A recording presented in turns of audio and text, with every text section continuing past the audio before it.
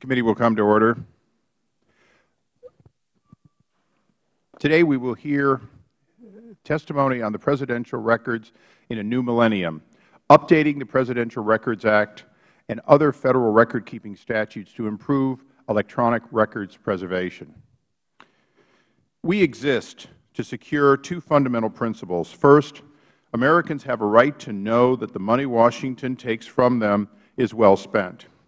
And second, Americans deserve an efficient, effective government that works for them. Our duty on the Oversight and Government Reform Committee is to protect these rights. Our solemn responsibility is to hold government accountable to taxpayers, because taxpayers have a right to know what they get from their government. We will work tirelessly in partnership with citizen watchdogs to deliver the facts to the American people and bring genuine reform to the Federal workforce, or sorry, to the Federal bureaucracy. You can tell what I had on my mind earlier today.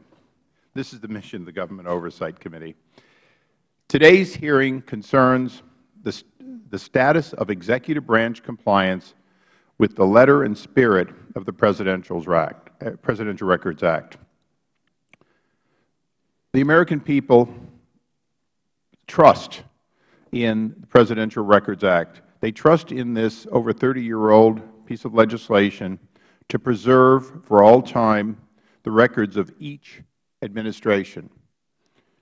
Crafted in the aftermath of Watergate scandal, the Act marked a major step forward in openness and transparency for the White House by mandating the careful preservation of public uh, accessibility of official records, the American people would have an accurate historical record of decision making. The purpose of this Act is clear, but history moves on, technology moves on, and today we deal, without a doubt, with an administration who has to, by policy, attempt to implement modernization of an act that never envisioned Facebook and Twitter. This is not a new problem, but it is a growing problem. The Clinton administration first had the digital age, but ultimately saying that email versus uh, paper mail is substantially the same and when printed is identical made it relatively easy to comply with. During the Bush administration, unfortunately, the move from Lotus Notes to Microsoft Exchange made us acutely aware that the quantity of digital information, if not lost but simply misstored, could end up costing us tens of millions of dollars to recover. In fact, the digital age is more complex and, if not handled correctly, is both more subject to loss of critical records and cost to preserve and recover them. We on the committee have broad oversight, and we try to do each part of government uh, as best we can. But we do have limited special responsibilities. Presidential Records Act falls to this committee. We take seriously that the decades that have gone by have caused an act fully understood to be very difficult to implement. We look forward to our uh, witnesses helping us as we begin to craft the types of legislative reforms that will codify good policy that has been developed by multiple administrations and go beyond that to make it clear to the American people that all transactions appropriate and equivalent to the original ones captured will be captured in the digital age. I now recognize the ranking member for his opening statement. Thank you. Thank you very much, Mr. Chairman. Uh, Mr. Chairman, uh, first of all, I, before I begin, I'd like to commend everyone who worked so hard for so long to bring Osama bin Laden to justice. Uh, I thank our military service members, our intelligence officials, our diplomatic corps, our law enforcement officials, and our nation's leaders from both political parties. This was a sustained, unrelenting effort over a decade and it shows that when America confronts its most daunting challenges, we can come together with a striking and inspiring unity of purpose.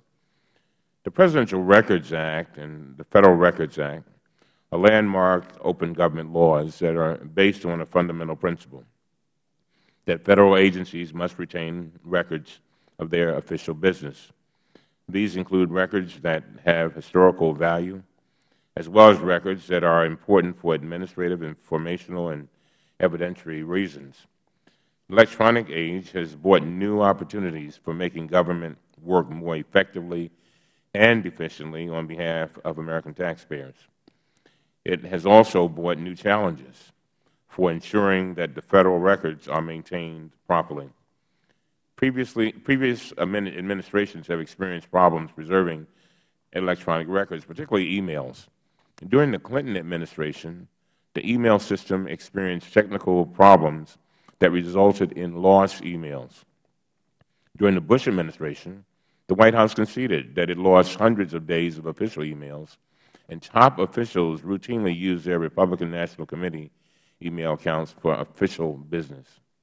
To address these problems, the current system now automatically preserves all emails from White House email accounts. In addition, White House computers block access to private email accounts like Gmail and Hotmail. And finally, if White House employees receive emails relating to official business on their personal accounts, they are directed to preserve those emails either by forwarding them to their official accounts or by printing them. As cutting-edge technologies continue to develop, they will create additional opportunities and challenges. Government officials can now communicate with each other and with the American public in new and creative ways through Facebook, Twitter, and other social media outlets. We want to encourage this kind of innovation. At the same time, we must ensure that records of official communications are preserved. The Obama administration has worked closely with the National Archives to develop new policies relating to social media.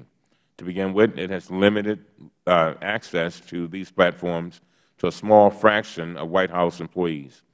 It has also worked with the National Archives to develop protocols to save official postings and samples of public comments in a manner that is consistent with its protocols for written correspondence. As you know, Mr. Chairman, I always believe more can be done. So if the question for today's hearing is whether we can improve the Presidential Records Act and the Federal Records Act, the clear answer from this side of the aisle is yes. On March 17, 2011, I introduced H.R. 1144, the Transparency and Openness in Government Act, a package of five bills that overwhelmingly passed the House last Congress with broad bipartisan support, including your own, Mr. Chairman.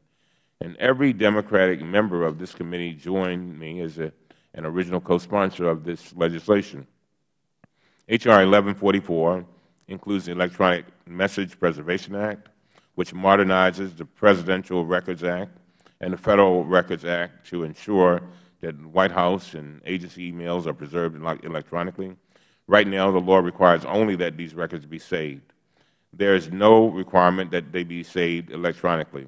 This legislation had such bipartisan support in last Congress that it passed the House by voice vote on March 17, 2010. Since I introduced H.R. 1144 in March, a wide spectrum of open government groups has uh, endorsed it. On April 18, 2011, a coalition of 17 organizations wrote to both of us seeking bipartisan support and prompt action in the House. They also said H.R. 1144, the Transparency and Openness in Government Act, will enhance the effectiveness of Federal uh, advisory panels, provide more access to presidential records, secure electronic messages generated by administration officials, ensure donations to the presidential libraries are open uh, of the public record, and give the Government Accountability Office more teeth. Mr. Chairman, although you declined to become an original co-sponsor of this legislation uh, back in March, I hope that you and I can work together on this issue in a productive way. And with that, I yield back. I thank the ranking member. We now go to our witnesses. Uh, the Honorable David S. Ferriero. I have a terrible time, and I apologize each time because stereo Ferriero. The problem is I'm not allowed to say stereo before I actually pronounce your name, and I am so sorry. Uh, I'm, I'm going to keep working on it because you're, I'm going to preserve getting the name right uh, somehow. But I thank you for your testimony today on behalf of the National Archives and Records Administration, and your work there is critical to our understanding of where reform is necessary. Mr. Gary Stern, the General Counsel to uh, uh, the NARA's, National uh, Records Act, Office of Archivist, and Mr. Brooks Colangelo, better than, better than I'm doing with Ferriero, uh, is the Chief Information Officer of the Executive Office of the President. And I appreciate uh, your being here today. As you know, we also wanted the policy team, but uh, I know that you come with probably the most critical information for today, so I'm pleased to have you here. Pursuant to the rules of the committee, could you all rise to take the oath? And raise your right arms.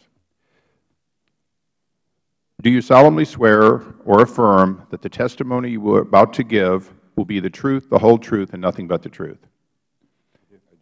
Let the record reflect that all witnesses answered in the affirmative. Uh, Mr. Ferriero, as you know, you've been here before. The, uh, uh, we do the green, the yellow, the red. The important thing is that all of your statements are in the record, and although you may go off on script uh, to the extent that you can add to what is already going to be the record, not simply repeat it. We'd appreciate it. And with that, you're recognized for five minutes, and thank you. Thank you, and good morning, Chairman Issa and Ranking Member Cummings. Thank you for calling the hearing and for your continued attention to the management and preservation of government records. As you mentioned, General Counsel Gary Stearns accompanies me this morning and will be available to answer questions from the committee. I am pleased to appear before you today to discuss the work that NARA does to implement the government record-keeping laws, the Presidential Records Act, PRA, and the Federal Records Act, FRA. The Archives has been responsible for setting government-wide policy on how all Federal agencies manage their records since the enactment of the FRA in 1950. The FRA, however, does not apply to the President, the Vice President, and those members of their staffs that advise and assist them, nor does it govern record-keeping by Congress and the Supreme Court. The Presidential Records Act of 1978 established public ownership of all presidential and vice presidential records, but it vested all records management and authority entirely and exclusively with the incumbent President and Vice President. The legislative history of the PRA states that the President is encouraged to implement sound records management practices. Because the PRA presumes that all presidential records must be permanently preserved and transferred to the National Archives at the end of the President's administration, the Act allows for comparatively straightforward records management policy. That is, the White House saves all presidential records, with the exception of some publicly received bulk mail correspondence where a sampling is saved and all presidential records are transferred to NARA when the President leaves office. In 1994, the Clinton administration established the policy of preserving all White House email records with an electronic record-keeping system. The George W. Bush administration continued this policy. While both administrations experienced some problems, as you mentioned, preserving their emails, which required restoration projects, the overall concept of capturing and preserving electronic presidential records in their entirety became the accepted practice. NARA staff has successfully transferred the electronic presidential records of these two administrations, along with all other records, into the National Archives. Throughout the course of an administration, both I and my staff provide guidance and advice on matters affecting White House records management when invited to do so. In this administration, NARA staff meet regularly with staff in the White House Office of Administration and other Executive Office of the President components on electronic records issues and provide guidance as requested. For example, we have provided advice on the preservation of presidential record material generated by the White House and posted on social media websites and we have provided sampling methodology for archiving those types of records. NARA has testified several times before this committee on the continuing challenges that Federal agencies across the government have in managing and preserving electronic records under FRA.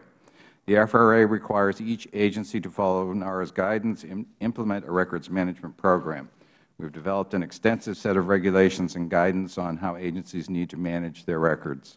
At the beginning of his administration, President Obama issued a presidential memorandum on transparency and open government. NARA has subsequently emphasized that the backbone of a transparent and open government is good records management. To put it simply, the government cannot be open or accountable if it does not preserve and cannot find its records. In February 2011, we issued our second annual records management self-assessment report with respect to how agencies manage electronic records, The report noted that records management programs in many agencies are at risk. In September 2010, NARA also produced a report on Federal Web 2.0 use and record value that noted the web landscape is evolving so rapidly that if we neglect to address these issues, we risk losing the truly valuable materials created by the Federal Government. In that report, we made several recommendations which are included in my written testimony. One of the fundamental challenges that agencies have in managing electronic records under the FRA and what distinguishes them from records governed by the PRA is the need to separate permanent records from temporary records. Electronic records management systems generally require significant user input to file individual records, resulting in few agencies managing and preserving their email records electronically. Rather, most agencies simply rely on print to paper as their official records management policy for email and many other electronically created records. While the FRA still provides a viable statutory framework for managing Federal records, we believe that there could be ways to modernize the FRA to improve the management of electronic records. Before closing, I do want to raise one critical but often overlooked point. Ultimately, responsibility for records management will always rest to some degree with individual Federal employees, no matter what systems are in place. That was true in an era, era of exclusively paper records, and it remains true in an increasingly digital age. As the Archivist of the United States, I have made the management, preservation, and future access to electronic records my highest priorities. Indeed, as part of the transformation process that I have initiated within NARA, we have set up our own records management laboratory to develop and test best practices.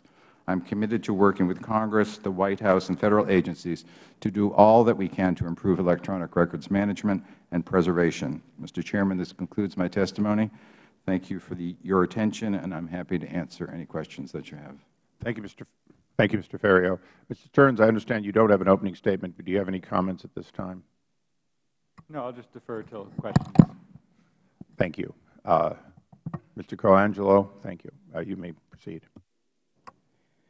Good morning, Chairman Issa, Ranking Member Cummings, and distinguished members of this committee. Thank you for inviting me to participate in today's hearing on potential changes to the Presidential Records Act and other records laws.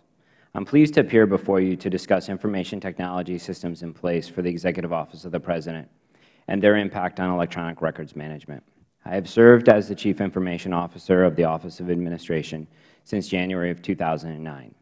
OA provides common administrative and support services to the components of the Executive Office of the President, including the White House Office, the National Security Staff, Office of and Office of Management and Budget. As CIO, I oversee all unclassified enterprise technology systems and services. The, from the first days of the administration, it was clear that the EOP IT systems were struggling to maintain stable and secure operations due to an aging IT infrastructure. Over 82 percent of our assets were end of life and no longer supported by their manufacturer. Enterprise software was severely out of date and had not been upgraded in years. The EOP had a single data center and no viable plan for a secondary disaster recovery. These flaws led to multiple email and network outages in the first 40 days of the administration. We've devoted significant time and resources to modernizing the EOP IT systems in order to enhance stability, ensure security, and provide robust electronic records management. Among, the, among other initiatives, we have replaced network switches, overhauled our Internet connection, patched network gear, migrated to Exchange 2007, moved to BlackBerry Enterprise Server 5.0, increased and upgraded our storage area network, expanded our cybersecurity tools, and began to stand up a disaster recovery data center.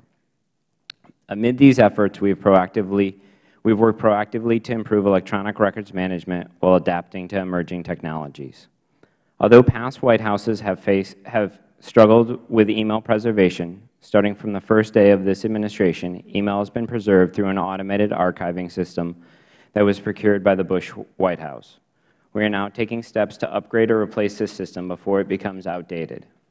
We've also, we've also upgraded our email and BlackBerry servers to improve the reliability, and we are the first administration to begin archiving SMS text and pin-to-pin -pin messages on EOP BlackBerry devices.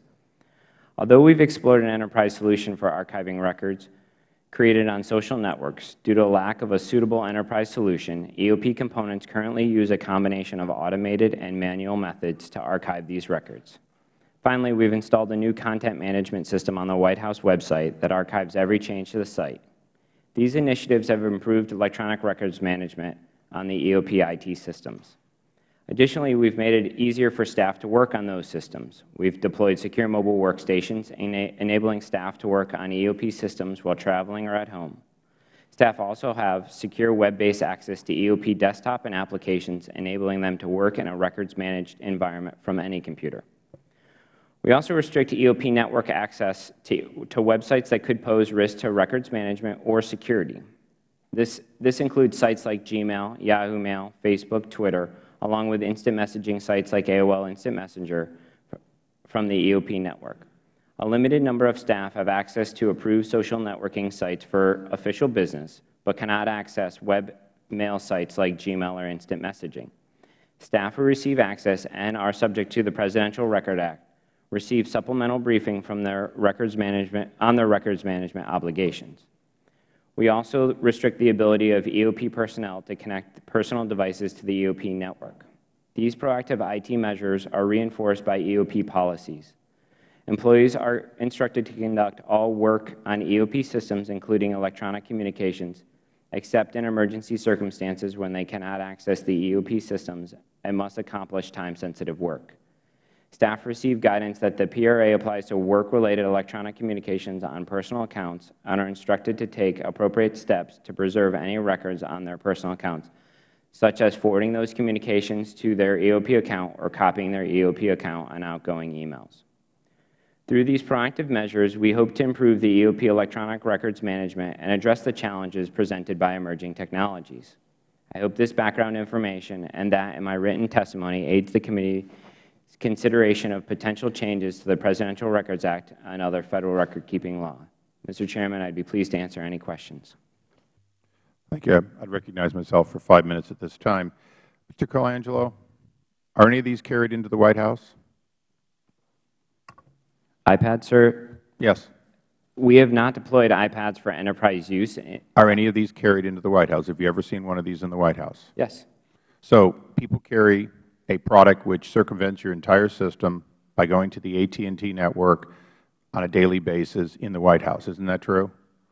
Nothing stops someone from using this or other Wi-Fi connected, not to your, any Wi-Fi in the White House, but to AT&T, Verizon, Sprint systems, and they communicate freely from the White House to Gmail or any other account. Isn't that true?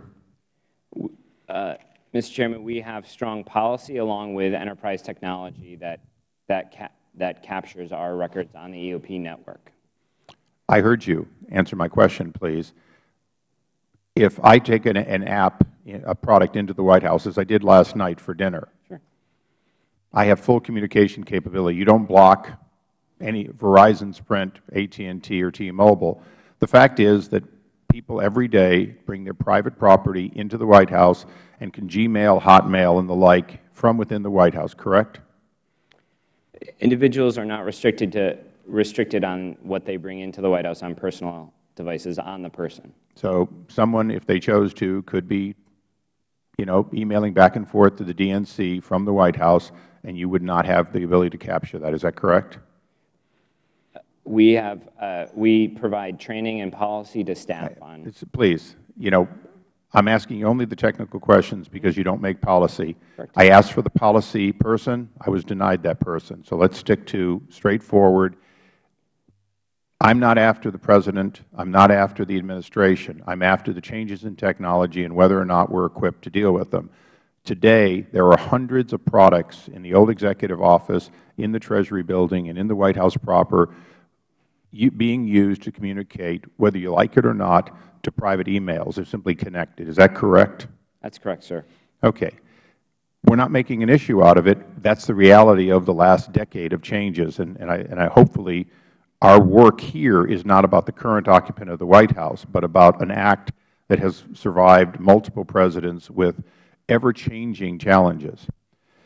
Mr. Fierro, if someone were to produce a book five years from now and they had their Gmail records, their uh, Microsoft Word documents, all of which were produced on private computers using the cloud. while they were sitting inside the White House or working as covered persons for the Office of the President, would you believe you are entitled to that source material under the Presidential Records Act? If, if that um, content was work for that administration, then yes, that's presidential record. And don't most uh, kiss and tell books that come out after a president is gone, usually, but not always after, don't they basically talk about meetings, experiences, and so on?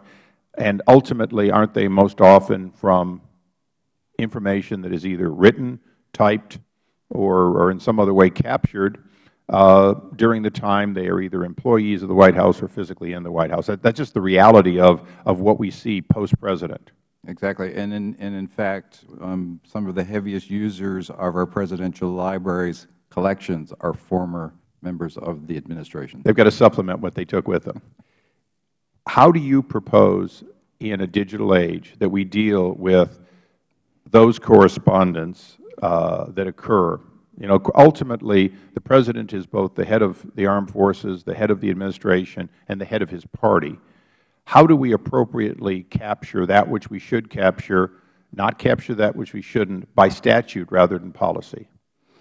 Well, as I said, the way the law is written, the control, unlike the Federal Records Act, the control of that content rests with the President and the Vice President. So what we're, uh, the position that we have is guidance, is to provide guidance. And um, Mr. Stern meets with his um, colleagues from the White House on a regular basis to provide that kind of guidance and to understand how technology is being used in the White House. Are all of you comfortable that a I'll decide which one of my Gmails fits that based on my training is sufficient? Well, it's our view that the, the statute, both statutes, even though they're old and were written in a time of principally paper records, are all encompassing. They include language about included but not limited to, all formats and all. So any official uh, communications involving their work are, are presumptively presidential record regardless of what system they're used on. We're also, it's also our clear understanding from this administration and prior administrations that the policy is you must use the government systems. So policy but not the statute, and as we already heard, they do use non-government systems. Otherwise, there wouldn't be a policy that when you send and receive on your Gmail, you forward it into the official system. By definition, you can't have it both ways. You can't say the policy is that you only use official, and then the policy is on those many, many, many, many, many occasions in which you don't use the official, please forward for the record. Right. Clearly, clearly, clearly, the policy is not getting the job done completely. Well, and I guess the question is, does that occur often, or our understanding is it can occur in emergency situations and, and the like, and whether it occurs on a regular basis, we're not aware of that. It's But, but not let me answer your question. Your Please. question was, are you comfortable? No, I'm not. Anytime there's human intervention, then I'm not comfortable. Thank you. Mr. Cummings. Thank you very much. Uh, we can agree that Federal employees should not use uh, personal email to conduct official business, I think. Is that right, gentlemen?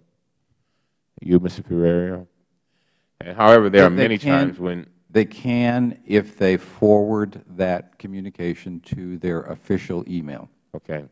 However, there are many times when using personal email might be necessary. Uh, for example, in the event of a natural disaster or a terrorist attack, communicating on official email may be impossible. Would you agree? Ms. Agree. Ferreira? Agree. And Mr. Ca- Colangelo, uh, in your testimony, you described several instances where the White House system experienced email outages. Is that correct? That's correct. Certainly, it should be made clear to employees that it is their responsibility to forward any records created on their personal email to their official email. Now, Mr. Colangelo and Mr. Ferriero, we don't want employees to just stop performing their duties in the White House uh, or agency email system if it goes down, do we? Do, would we? We don't want that to happen if the agency system goes down. We In other words, for them to stop doing business. Exactly. So under that circumstance, you want to make sure that they preserve whatever records they, they uh, right. had. Currently, the White House blocks access to personal email on White in-house computers. Employees are prohibited from even connecting personal electronic devices to the uh, EOP network. Is that correct, That gentlemen? is correct. Uh, yet some still promote the false notion that White House employees are sitting around all day on their personal iPhones accessing these personal email accounts to evade the Presidential Records Act and the Federal Records Act. Mr. Colan- Colangelo, what more could be done? I suppose Federal agencies could ban employees from carrying personal cell phones at work. Uh, they could do that, couldn't they? That's more of a policy question, Congressman. I'm a technologist. And do we really want to create such an extreme big brother mentality like this? Mr. Fiorio, what else could we do? Um, The, the evolving guidance that we are working on, and in this particular administration, is a good indication of how the system should work in a healthy environment. Um, It's, as I said, the control is with the White House, and it's, um, the, the quality of the product depends on, upon the relationship with the administration. And so, but you, but so are you, you're not for stopping the use of personal email? In other words, we, do you think it's a good idea to require all Federal employees to stop using any personal email as a condition of Federal employment? There are instances, as you described, when that's the only solution. And as far as I'm concerned, that should be the guidance. You use your personal connections when you don't have access otherwise. Okay. Now, And you I- ensure that that, and you ensure that that record then gets transferred to your official email. And so, obviously, there are extreme and ridiculous proposals designed to make a point. At its most basic level, compliance with record-keeping laws comes down to employees making decisions. Is that right? That's the human element I was talking about. Yeah. And, Mr. Fiorio, isn't there inherently some level of discretion that must be allowed to ensure that employees can comply with the law while also doing their jobs? Is that right? That's right. Now, last year, you uh, applauded the our legislation, legislation that I um, spoke of about in my opening statement. Did you not? I did. And you you su supported it with great enthusiasm. Did you not? I did. And why is that? Because it points us in the right direction in terms of how we deal with our electronic records, and it also raises the consciousness of Congress about the importance of records, which is a, pr- a real problem that I've inherited as the Archivist of the United States. So you are so you would you you would you agree with me that that would be a giant step in the right direction? It, would- it points us in the right direction, I agree. And is there anything that you'd like to see added to that legislation? One of the things that worries me most is the retention issue. Um, the way the the um, the Federal Records Act is currently written, the um, we're in a still in a 1950s paper mode where agencies, many agencies, have a 30-year retention policy for their records. 30 years in an electronic environment is incredibly dangerous. Now, Mr. Chairman, I uh, failed in my opening statement to uh, ask that the letter, uh, letters that I mentioned uh, with regard to the letter I sent to you back uh, a while back in March with regard to our legislation and, and the, the Transparency Act, and then the letter I sent to you yesterday just be a part of the record. Uh, I ask unanimous consent. Uh, I'm familiar, the first one's without objection, so ordered. The one yesterday was on, on this subject? Yes, yes. Ah. Just asking for a markup, that's all. Oh, of course. Uh, Then without, without objection, so ordered. Mr. Stereo, would you, uh, Ferriero, I'm sorry, would you please, I- I'll get it eventually, I am so sorry. You, you said things are so dangerous, and I don't think the ranking member got to hear what was so dangerous about 30 years in an electronic age. Because of, um, as you know, uh, because of changes in technology, 30 years um, to be retained in an agency is a very long time. Different, uh, different uh, uh, information technology systems being used, uh, different records management systems being used, great risk of loss of records in 30 years. In other words, we can't read DOS 3.3 so well today. Okay, thank you. Uh, The gentleman from Tennessee, Mr. uh, DesJarlais. DesJarlais. Thank you, Mr. Chairman. Uh, would you pronounce your name? Because DesJarlais gets butchered all the time, and I don't want to start off saying yours wrong. Rhymes with stereo. Ferrio. Vario. Thank you. Okay. Well, we, we started in on this discussion just now on, on the 30-year uh, problem in document preservation. I think maybe we should explore that further. And Mr. Stern, uh, certainly feel free to jump in. Uh, does the NARA favor elimination of the current 30-year presumption? Yes. And- And I just add, the 30-year issue is about uh, when they transfer permanent records into the National Archives. For agencies, only a tiny fraction of the, all the records they create are permanent for transfer into the archives. And our concern is on permanent records, we want to ensure we get them as early as possible so that we don't have a, a, problem of, of format obsolescence. Often on presidential record keeping, is it common that uh, on the second term they're more aggressive at getting these archived? Is it something, your presumption that we should start earlier in uh, a president's term? Well, I mean, the advantage of, uh, in any presidential term, even two terms, that's only eight years at the longest. So that's relatively recent enough that, that we're able to get, the, uh, get all the records in, uh, in reasonable good format. But we are, uh, we work with the uh, new administration on day one, and from our perspective, we're planning a transition the first day the President's in office in terms of working and coordinating to ensure that all records, and particularly electronic records, will be in the right shape and format so they can be transferred to us when the President uh, leaves office. Okay. Uh, Mr. Ferreira, which and how many Federal agencies currently take advantage of pre-accessioning and turn over their documents before they're required to do so? Pre-accessioning? The uh, early turnover of documents, Only about half a dozen. half a dozen? Right. And you'd like to see that? In- I would be, um, actually, as the archivist, I'd be um, really interested in getting in at the creation um, and not, and so that we have uh, better control. What part of the Federal Records Act would have to be updated to eliminate the current 30-year presumption? I believe it's Section 2107, 2108 uh, have, have language uh, with respect to the agency retention up to 30 years. Okay. Would the NARA prefer a default preservation rule that requires periodic turnover quarterly, semi-annually, annually of uh, agency electronic documents? We're, um, we're exploring various models. Okay. Uh, Mr. Stern, would the NARA be able to handle a shift to periodic submission of agency electronic documents at current funding and, and person, personnel levels?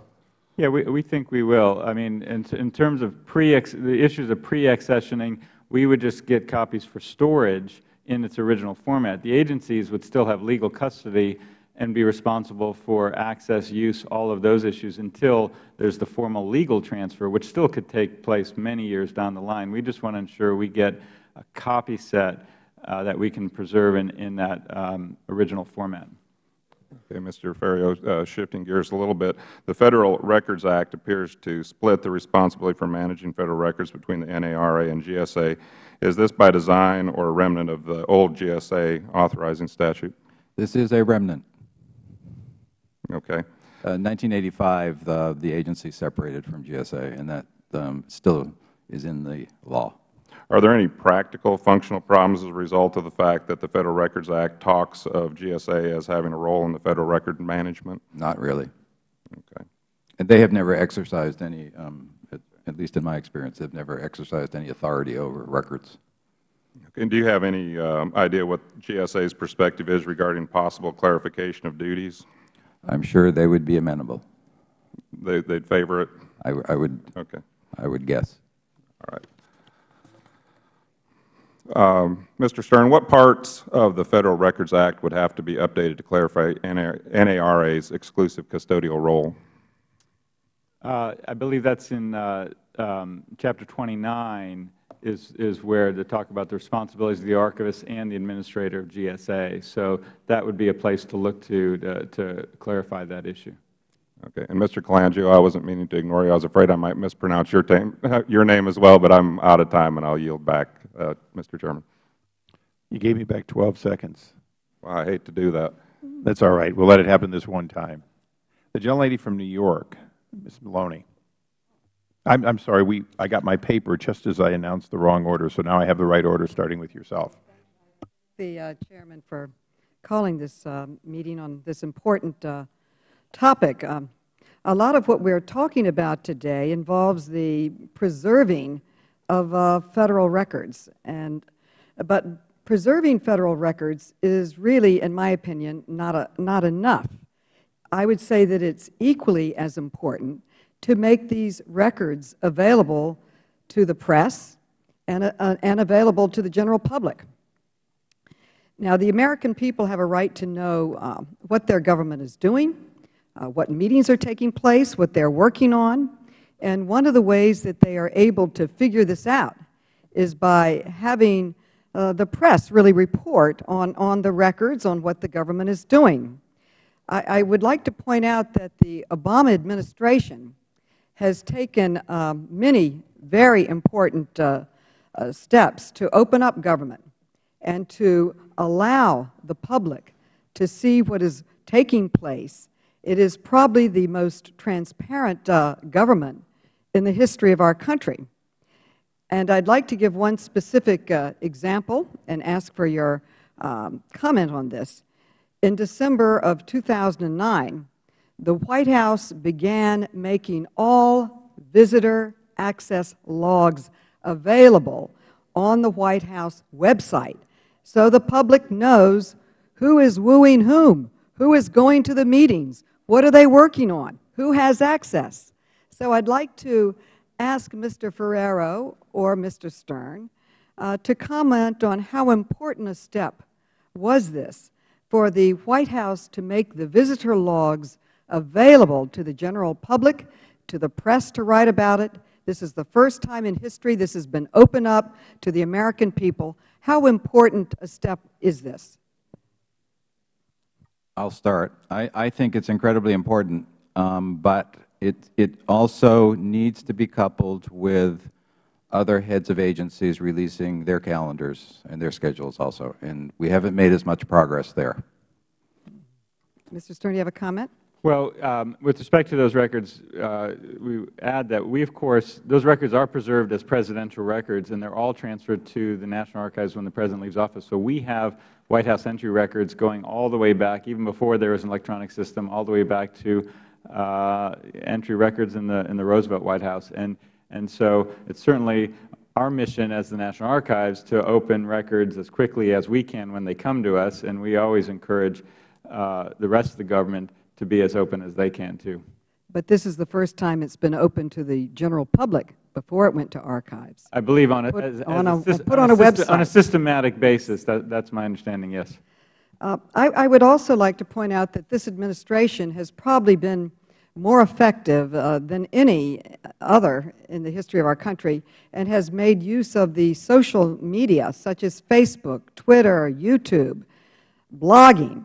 And uh, these applications uh, bring great innovation and allow people to have access to what our government is doing and what the activities are, but they also bring very special challenges uh, for the archiving of this information because of the, the tremendous volume uh, that is uh, generated every single day.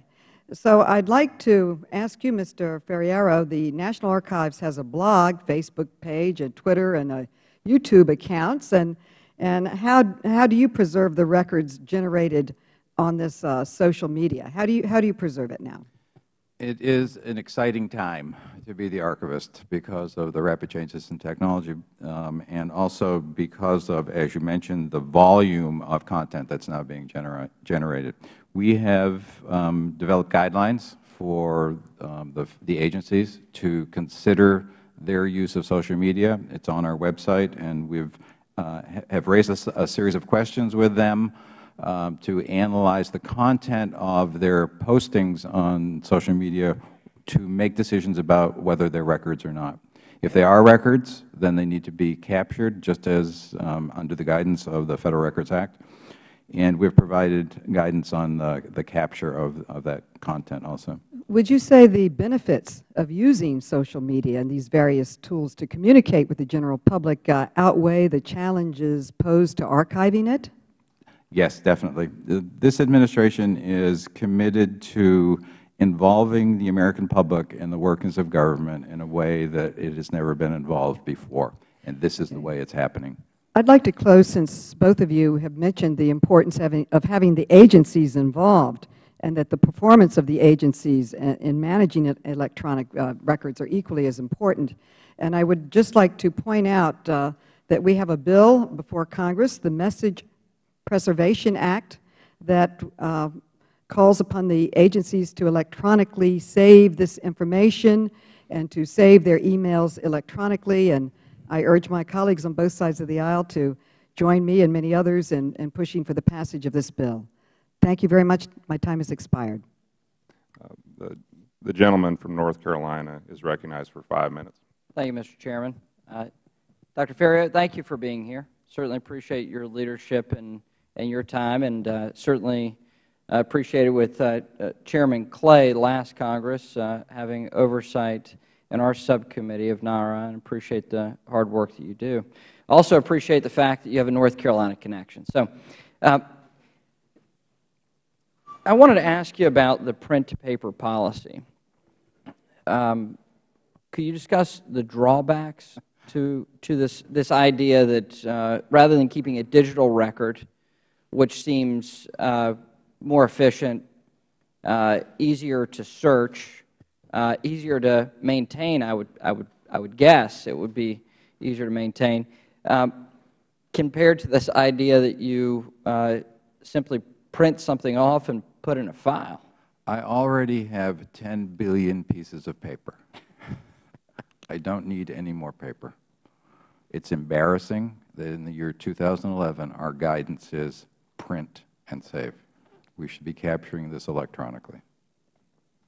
The storage costs, I have 44 facilities around the country. The storage costs for paper are enormous. Uh, what ways can we improve this?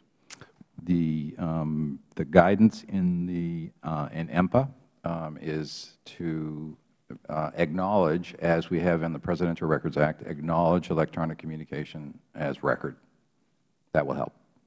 Um, what part of the Federal Records Act would have to be updated in order to i- insist that we have electronic records?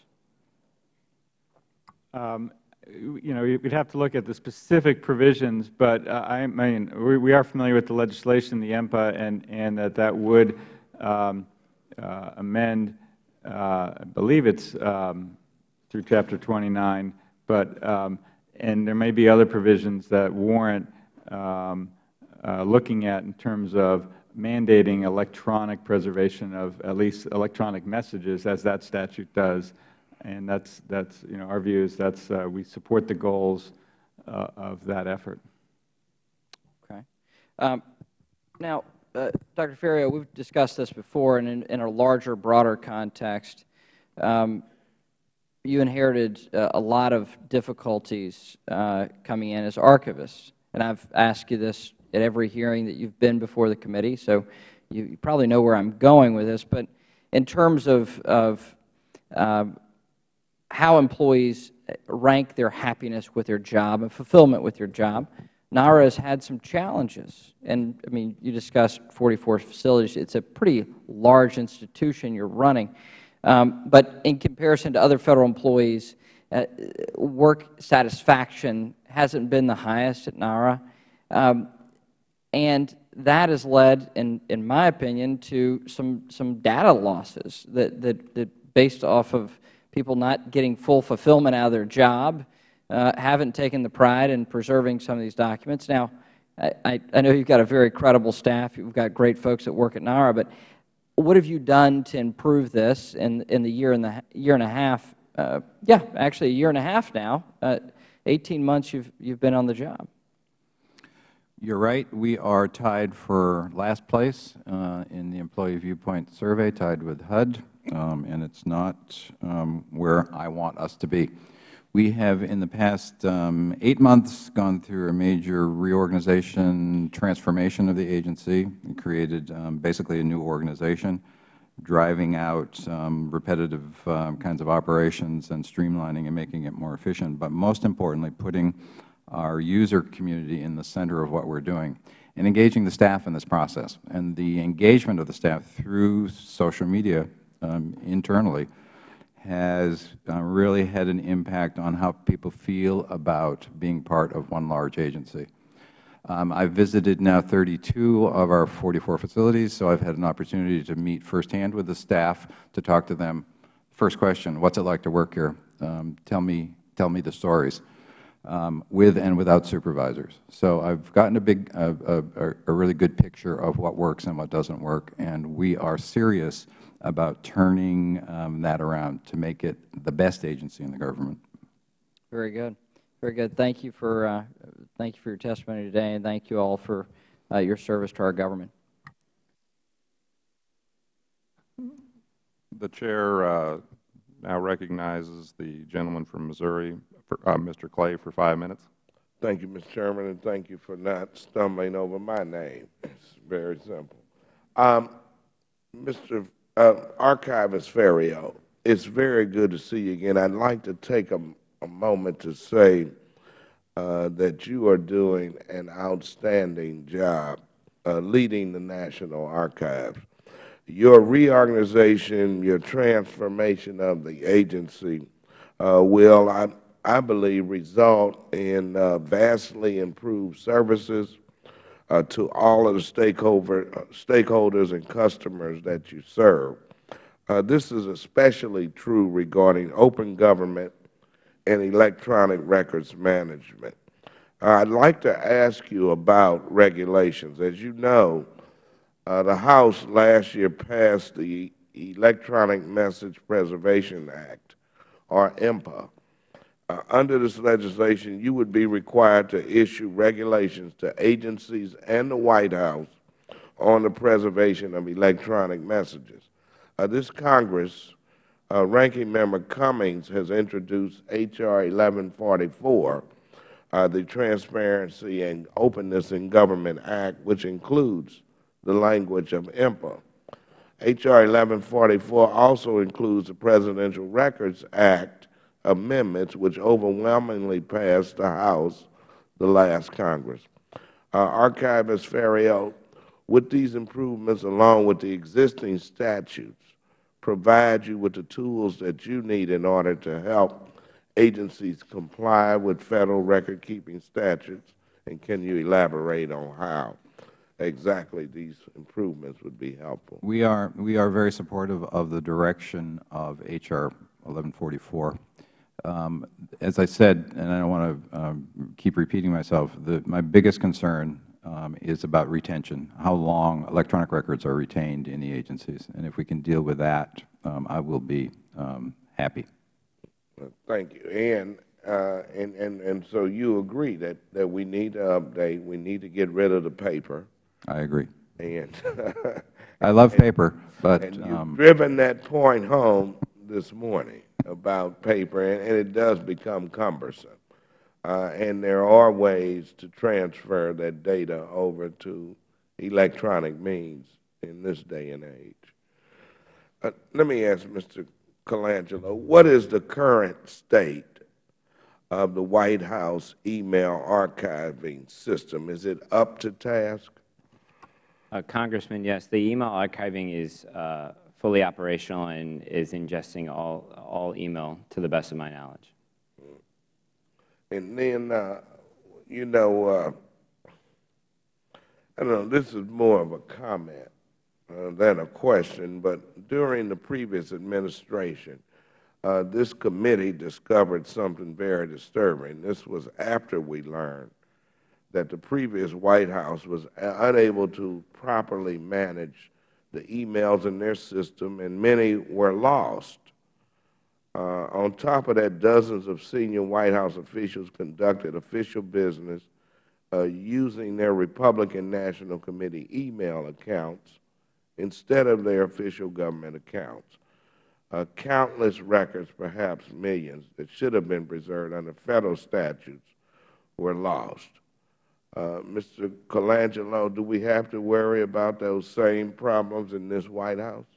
So Uh, Congressman, what we have done um, since 2009 is worked um, with the technology that the Bush administration uh, procured, which is a commercial off-the-shelf product, a proven technology to archive records. Um, so our, the EOP email systems are being uh, archived. Additionally to that, we've also stabilized our systems and enhance mobility so that we offer users, uh, you know, uh, many choices to access the EOP system when they need to do their EOP work, either from a laptop or a secure web-based system, so that they have the opportunity to do EOP work um, anytime. Thank you for your response and all, and all of the witnesses' response. Mr. Chairman, I yield back. Chair thanks the gentleman. Uh, the Chair will now recognize uh, the gentlelady from New York, Ms. Buerkle, for five minutes. Thank you, Mr. Chairman, and thank you to our panelists for being here this morning. Um, my question has to do with the split between um, the responsibility for managing Federal records with regards to NARA and uh, GSA. If you could, um, what we're looking at right now appears to split the responsibility. Is that by design, or is that something that was just so happened that way?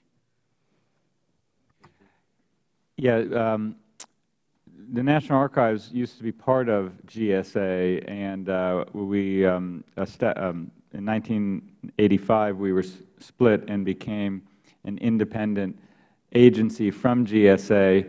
But uh, when they revised the statute at that time, they left some responsibilities um, for economy and efficiency and such with GSA in coordination with the Archives of the United States.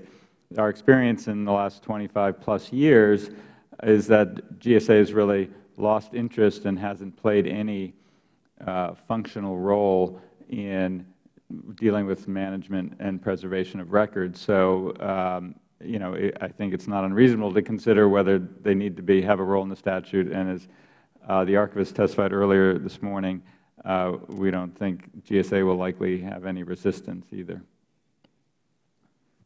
I apologize. I've been advised that this has already been covered before I got here, so I apologize for that. Um, let's go to the whole email question and, and the preservation of those. Um, do you have, uh, Mr. Ferriero, any uh, recommendations regarding potential additional rules for, for ensuring that the transfer of the presidential administration electronic document, documents will be finished within a 60-day time frame? Is there, how can we make sure that happens? I'm not sure the 60 days where that comes from. I believe that that's um, the, the transfer actually happens at the end of the administration. So every, everything is retained in the White House um, until the administration changes. And in fact, during the inauguration ceremony, archive staff is in the White House. Um, Would the gentlelady yield for? Sure. To the gentlelady's question, would you prefer that there be transfers during the administration so that, in fact, if there are any questions, you find out about them while they're still using the same software and the same personnel are still there? It's a good question. We, um, we have, as I said, we have these regular meetings with, um, with our co colleagues in the White House about their, you know, how they're managing their records. Um, I hadn't really thought about capturing them sooner. It's certainly an attitude I have about the, um, on the other side, on the Federal records um, scenario. I believe that this issue was raised because um, in the instance where, with, obviously with President Clinton and President Bush, mm -hmm. those were two terms. But in the event that there was a single-term president, right. uh, the turnaround within the 60 days, I think that's where I that see. question came from. Thank you. I yield back. Oh, would the gentlelady yield, further yield? Sure. Uh, Mr. Ferriero, you earlier uh, talked in terms of what could be captured, what couldn't be captured. Obviously, the, uh, the ranking member and I have an agreement that in times of an emergency in which the system is down, you come as you are, bring what you have, and do what you must. But assuming that there are covered persons, and we would have to define covered person, persons not to be just anybody, but covered persons that have personal emails and uh, personal Facebooks, do you believe the statute should give a absolute right for those covered persons documents, if you will, to be reviewed by a third party to ensure that there is compliance with the law? I'm not talking about, you know, if you will, preempting people's personal rights, but if you're a covered person and you have access and you may or may not have used it, is that discretion something you'd like to see reviewable, at least by the Office of the Presidency itself?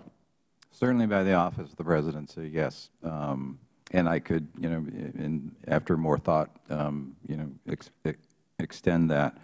My, my concern, as I've said, has to do with any time there's the human element involved, when someone has to make a decision uh, and remember to transfer those to their official, their, their official um, email system.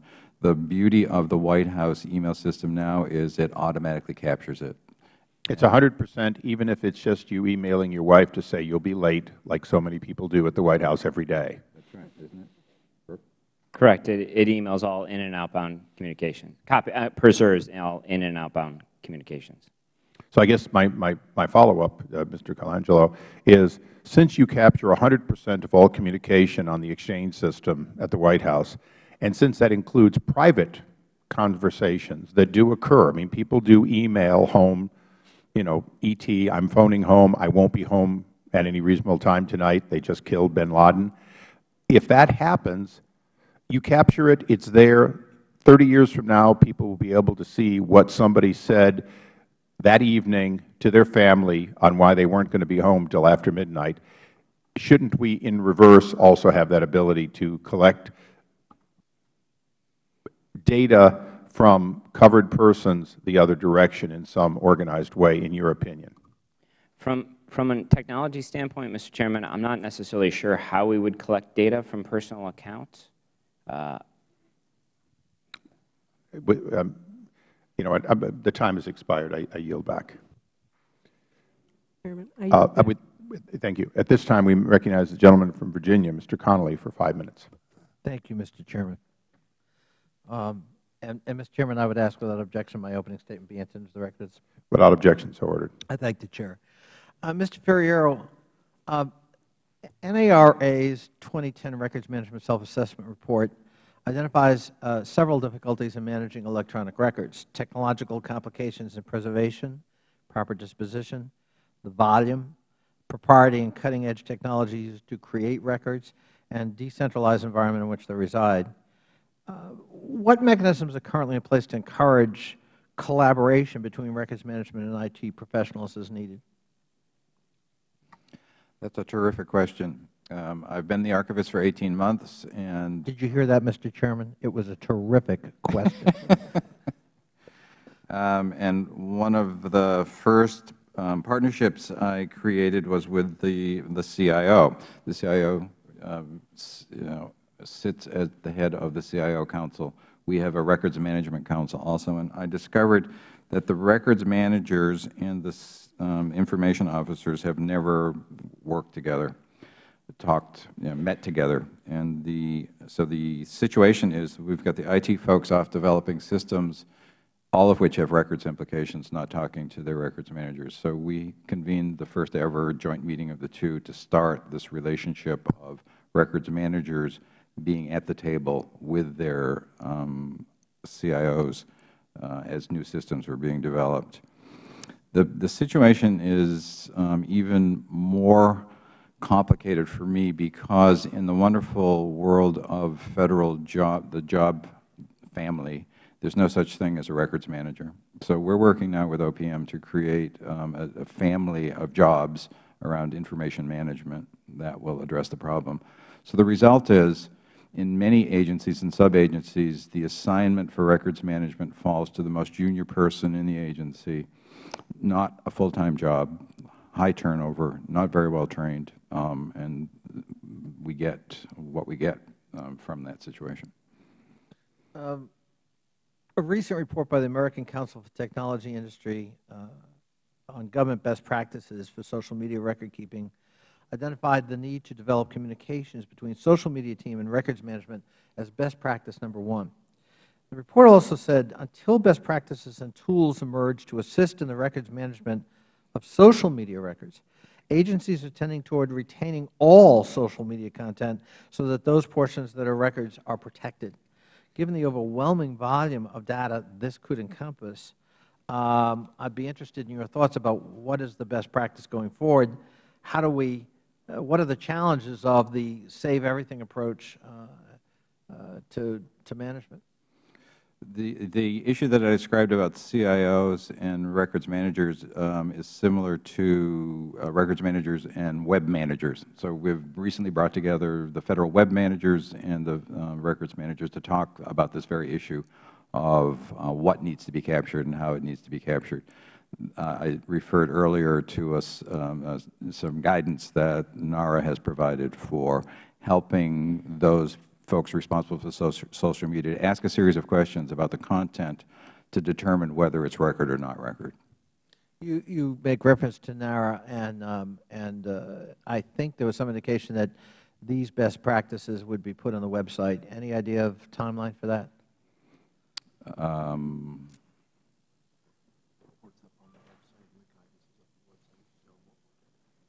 The, um, the guidance is up, the report is up. In terms of best practices, that's coming.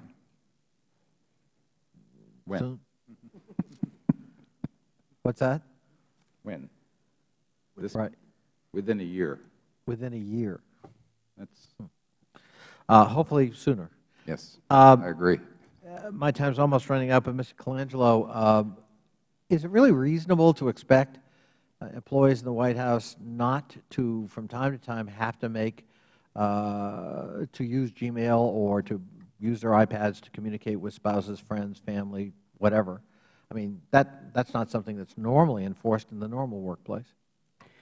Uh, That's correct. Um, That communication also um, takes the stress off of our system, so it reduces, the work system is only for work systems, and it keeps the, the clear separation between personal and government issue equipment. But, so people are allowed to use their work computers for Gmail? Uh, No, I'm sorry. Um, On their government equipment, they are not allowed to access social media or web-based email sites. It is blocked from a technical standpoint on our network. So it's a much stricter standard than exists in most workplaces. That's correct. I thank you. My time is up, Mr. Chairman. Thank you. The uh, gentleman from Oklahoma is recognized. Mr. Langford. I would like to yield back my time to the Chairman at this point. Oh, okay. Well, I'll, I'll take the time for a few minutes. I thank the gentleman. Uh, Mr. Ferriero, you oversee, from a FOIA standpoint, a tremendous amount of information, even though you work with the libraries where many of the assets uh, reside. Ultimately, a Freedom of Information Act request on any president covered under your records, your, your many archives, belongs to you. Isn't that correct? That's right. How many people do you have roughly doing FOIA within your jurisdiction? Directly and indirectly, because obviously librarians, uh, the various libraries assist. We- Yes. Well, uh, we, we do submit a report to the Department of Justice that has that number. I, I'm afraid I don't re- remember specifically. It's in the many hundreds, but, though. Yeah, I mean, uh, uh, if you, well, at the presidential libraries where FOIA applies, which is Reagan Forward, there's probably about 50, roughly 50 archivists doing FOIA review and processing, and then there's at least that number uh, dealing with federal archival records here in Washington and in our regional archives. But if I can follow up, the, uh, the desire to FOIA 30-year-old material generally from the government is pretty minimal, right? In other words, agencies control for 30 years their documents. You control them when they're too old for anyone to ask. Well, the, the, the, the, original model of the archives was you wanted the records to get to an age where they're no longer needed by the agency and where the restrictions pretty much are lifted. So in the old model, after 30 years, when they transferred records to us, we could presume that the records were virtually open in their entirety, unless there was classified information or personal privacy information. So the ideal is when they come to us, we can just make them open. You wouldn't need to make a FOIA request because you could just come to the research room and we could provide them. So that Now, was the now, following up on that, because this really is a major reform committee on both pieces of legislation uh, question, today, if President Obama were to decide not to run for a second term, which I understand he's already made that decision, you are only two years away from receiving four years of information. So you have this variable that goes from four years to eight years. Presumably it will be eight years for this administration like it was for the previous two. But when I look at the Department of Homeland Security, you've got decades before under completely different cabinet officers those records are going to be available.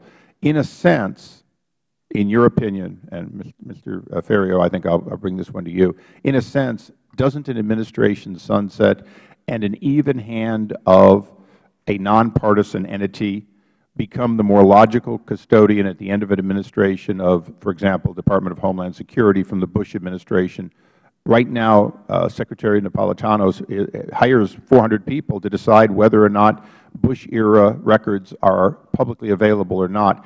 Does that seem like an area of modernization that we should hold hearings on and decide whether or not to take the entire presidency as a period of time in order to refresh broadly and that is why I asked about your own uh, history, because you are making FOIA decisions on President W. Bush today. Well, in fact, you are not making decisions on any of his people in his administration. Instead, the succeeding administration of the opposite party is making those decisions. Complex question. What, what would you but say? It's, um, it's an interesting. It's an interesting thought. Well, I would just uh, uh, add under the Presidential Records Act, when we receive the records from an administration, there is a five-year period where there is no public access. So, in fact, right now, we still there is still no no access under FOIA without joint consent. Well, the administration can choose to release. A post-administration does have there have been releases after administration has gone sunset, but they've been in concert. Before the five years, very tiny amount. And so, so generally, it's not until five years after the administration leaves office that we, we start opening records to FOIA requests on a systematic basis. This but that's still 15 plus years sooner than you will the cabinet officers' records. So, so the notion that if, if we were to get more records earlier and have to process them, I think that would have to be accompanied by rather massive Uh, addition of, of staff and resources to deal with the processing element of it. And, you know, the part of the old model is they're the agency's records. The agencies can decide, you know, on the restrictions and on access and all, and they have greater resources than we would have if we took in massive amounts of, of agency records in addition to presidential well, records. Well, even my borrowed time is now expiring, but I, I, I would let you know what I'm thinking and, and the ranking member it's become my at least straw person belief that in fact FOIA should broadly not belong to the administration, that it should be handed off in its greatest portion to individuals who report to someone who wants public information public, private information private, and who is apolitical. That, that general belief doesn't change the fact that the Department of Defense, what's going on today, must be determined by the Department of Defense and its current Cabinet officer. But the sooner that transfer were to occur, the more likely the public would have a fair right to know, not in any way determined either by the vindictiveness of the next administration or the graciousness of covering up by the next administration, both of which, quite frankly, the record shows there has been a certain amount of that that has gone on under both parties. Uh, I recognize the ranking member for his second round. I was just um, listening to the uh, chairman's proposal. Um, one of you said that everything seems to boil down to discretion. When it, I mean, even a proposal like that, um, determining which records are supposed to be released under FOIA. But let, let me, um, I'm going to go back to you, Mr. Ferriero. Um, you, in answering one of the chairman's questions, uh, he was talking about um, those personal emails where somebody says, I got to stay late because something has gone on in the White House and I've got to run, you know, just a little note to their wife or husband or whatever. You're not trying to preserve those kind of records, are you? They are. They're, they are captured. Those, but that's not the kind of stuff that you really are that interested in. Well, it's it's interesting because I learned a lot when we um, were working on the Elena Kagan confirmation hearing, and we had to deliver um, a lot of content from the uh, Clinton White House, uh, 65,000 email messages uh, that Elena Kagan, you know, had um, some role in. And very often, um, it, those messages were a combination of personal and business. And it's hard to separate out um, uh, unless you're going message by message and determining what's personal and what's not what's not personal. So the you know the the the uh, procedure policy in the White House now of capturing everything uh, works for me.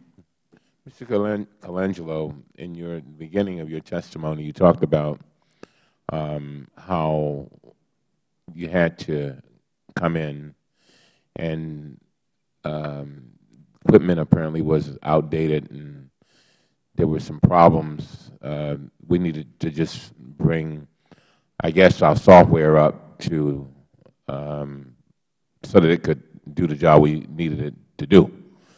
And I'm wondering where are we now with that? I mean, and how do you make sure? I was just telling the um, chairman a few minutes ago that he and I came along a while back, and we can still remember when people were using carbon paper and typewriters. And, um, and now technology changes, seems like every five or six days, if not every day. So how do you keep up with that? How do you make sure you stay on the cutting edge and at the same time make sure that it's an, a balanced approach so you're not just getting equipment that is going to be outdated, you know, tomorrow. And I, and I ask that so that and with just trying to figure out the efficiency and effectiveness of maintaining these records. You follow me? I think about, I've got, believe it or not, I've got some eight-tracks in my basement and nothing to play them on. And um, so, okay. but so I'm just, just wondering. Thank you, Mr. Um, Mr. Cummings. Um, Congressman, what we did in the beginning of the administration was really invest in stabilizing our core. We averaged um, somewhere in the 70 percent uptime in the first 40 days of the administration. Now we're over 99 percent operational uptime. Um, we had to replace a lot of key systems because they were not um, they were in need of upgrade.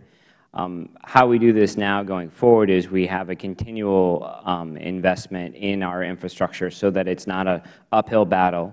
It's a constant level flow that we are constantly upgrading new systems. As I mentioned in my testimony, we're, we're looking at upgrading of our archiving system before it becomes out of date. So let's, let's beat that before it gets to that end of life state. Um, and now we constantly look at new technology before integrating it into the EOP enterprise to ensure that it is that does um, follow the compliance of records management and and helps meet the business need, right? So it's constantly meeting that business need and also making sure that we're compliant with that. And finally, Mr. Chairman, I would just again ask that we schedule a date as soon as possible for the marking up 1144. Mr. Ferriero, I think, has agreed that this is a giant step in the right direction. It's, it's really non-controversial, and I think it's something that we all could be proud of and could do in a bipartisan way. And I just re, again, I ask that, and uh, with that, I'll yield back. I thank the gentleman, and I'll just do a very short second round myself. Uh, Mr. Ferriero, the, uh, the challenge you face would appear to be that each administration uh, delivers you records in a certain way. The Clinton administration, as I understand it, delivered you Lotus Notes uh, as, a, as a system. Famously, from this committee's standpoint, the next President tried to take Lotus Notes and transfer it to Microsoft Office Suite, including Exchange, uh, and then discovered, among other things, that their image backups were not capturing. So we have seen these transitions. What is it we can do for you broadly as the archivist either through mandating that the systems that are delivered to you be in an open format or an interoperable format or in some format that at least allows you to port them in the future that would help you. As we look at updating these things, there, there is sort of the question of if paper was understood, you know, you could specify 8.5 by 14 bond paper with uh, 10 courier. But those days are gone, and if I had DOS 3.3 Word Perfect, followed by, uh, you know, we won't even go through SuperCalc and all the other programs that are long forgotten. They would deliver me an amazing nightmare. You have that, don't you? I do have that nightmare, and it makes paper look very good today. Uh, the electronic records archive that, that we're creating, in fact, um, is designed to accommodate those changes in technology as well as changes in attachment. So neutralize formats, basically, um, to make it possible for us to migrate the, the um, digits um, through time so that they're available in perpetuity. On the other end, being much more um, in, involved in at the creation point, as I talked about earlier, is important to us so that we can establish standards uh, around email creation and electronic record creation and capture. So in closing, if in our modernization legislation we mandated that all agencies uh, give you sufficient comfort with their preservation on an annual basis so that either the, the material could be transferred or changes could be made so that the next year you are not getting two years of information that is going to be very expensive uh, to change. That would be helpful. Secondly, if in fact we design for transfer in, at the front end, then you could save and the American people could save a huge amount of money. Isn't that correct? I agree. Well, that will be among other things in our uh, legislation. I will close, Mr. Uh, Colangelo. Uh, you talked about the good and the bad of the Bush administration. Is there a way that we could ensure that the funding and the uh, uh, the capability of each administration were more best practices as a matter of course, or is it simply that President Bush did a great job of capturing email archives and, and creating the NAS and the vault and so on. Well, toward the end, refreshing servers was not a priority and you inherited them over 3 years old. I mean, those kinds of good and bad, should we have a role or are you satisfied that each administration does the best they can and hands off? From a technology standpoint, I think it's important to invest in infra infrastructure um, so that there's a continual um, uh, flat line there versus the up and down. Okay. I might note, by the way, that uh, the White House has always, almost always been at least one generation of the exchange system ahead of the House. and with that, I thank all of you. And, oh, I apologize. Now I would recognize Mr. Langford for a second round. Right. Thank you very much, Mr. Chairman. Mr. Colangelo, I just had a couple questions for you. Uh, reading through your notes, and I apologize for slipping a little bit late here. Tell me a little bit about uh, the Facebook tracking and Twitter. I know certain sites or certain uh, locations have that, uh, have access. Others are blocked from that. Uh, how is that being tracked? I see some conflict and, and how we're able to handle, handle that with the technology. Thank you, Congressman. So from a technology standpoint, we have an enterprise-wide gateway that blocks all right. staff from accessing these. And then when uh, um, a component staff member makes a request for this, it's reviewed by their counsel, and then if it's appropriate for the business use, they're allowed access through a, a certain policy and they have access to a, right. an approved number of sites. Um, we've looked for an enterprise-wide uh, preservation system. Um, technology hasn't matured enough uh, currently, but we're continuing to look and hoping that it will come around. Um, what happens now is uh, records are preserved by a component-by-component -component basis. Um, and I know today, actually, the White House released a blog post on whitehouse.gov uh, describing their process for um, uh, capturing records on some of these sites. So, for example, on Twitter, they use an RSS feed, real simple syndication, that emails back into the email archive system. And Facebook uses uh, screen captures. And then for different sites, we have API. There are APIs that capture this, and then sometimes it is just electronic capturing of a screen. Right. The email system that's used specifically with uh, Facebook or the uh, message-to-message with Twitter, how are those captured? So uh, for every individual that is uh, um, provided access into the social networking sites, they are provided additional guidance and training from legal counsel on um, uh, their Presidential Record Act ob obligations. Right. So, but you're saying currently they're not capturing away. So the other Gmail and those things are blocked for that, but the actual email out of Facebook, they're just given guidance saying don't do it on that one. But they're not actually tracked, they're not recorded, they're not anything. So a personal message, for instance, on a, another email of don't forget to grab milk on the way home would be captured through the traditional email system, but a message that's going through Facebook through the email system on that for those computers would not be captured in any way. Uh, Personal email is blocked, again, from all EOP Right. systems. I mean, if they did it through the traditional system. That's correct. Um, uh, On individual users within the, the, it's managed on a component-by-component basis for those who have access to those um, suites. As I mentioned, we don't have an enterprise preservation system currently available. Okay. Is that an issue for us, that there is basically email that's going through our system that is, basically they're just told not to do anything on that that should be related to official business, that just be personal on that, or what are the parameters that are given to them to say, you have access to Facebook, but please don't in these areas? I, I- know that the guidance is pretty, um, pretty detailed. I don't have ac- that access, so I haven't gone through the trading, so I can't actually speak to that. Okay. Do you, do you consider that to be an issue for us at this point, that we do have a series of email communications that are hanging out there that we're not archiving? Or do you think that, how, can we know on that one way or the other? From a, from a numbers perspective, it's, it's roughly 2%, as I, and I noted in my um, written testimony. So like 70%, 2% of the EOP population that have this access on, on the government systems.